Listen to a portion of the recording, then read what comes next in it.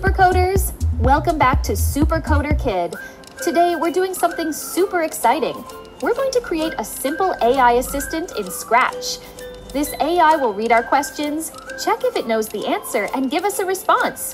Ready? Let's dive right into it.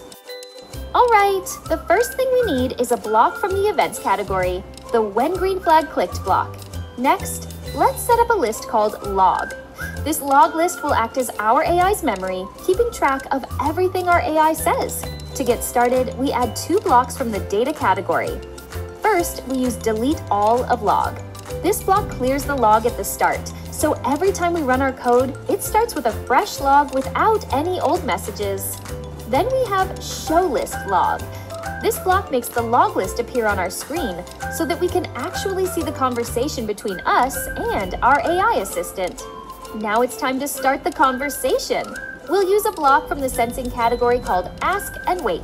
Here, I'm typing type anything inside the Ask block. So our AI assistant will prompt us to type a question or a message. This block pauses and waits for us to type something. Once we press enter, the AI will read our question and decide what to do next. We're going to need two lists to get things started. Lists in Scratch are like little notepads where we can store lots of information. A question list, where we store all the questions we expect from our user. An answer list, where we store the answers that match each question. Let's look at the code step by step. Don't worry, it's simpler than it looks. The code starts with an if-else block that checks if the user's answer matches any item in our question list.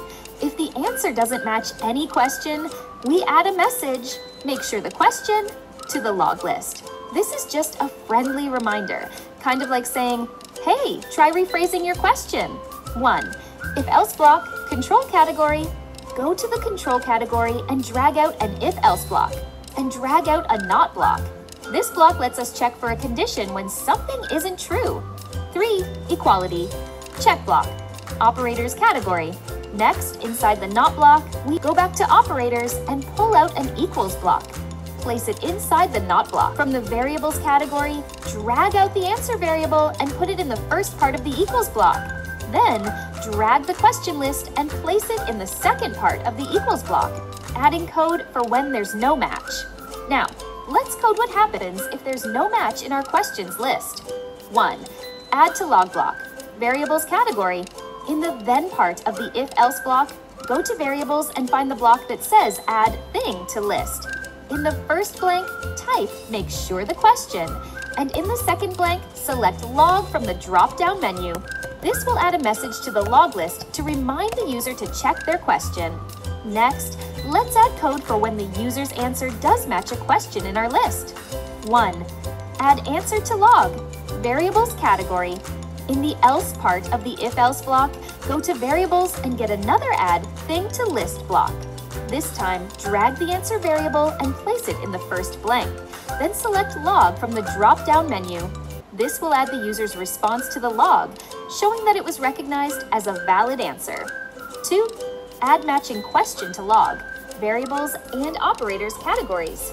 Now, let's add the matching question to the log. Get another add thing to list block from variables. In the first blank, we're going to build something a bit more complex to find the correct question item.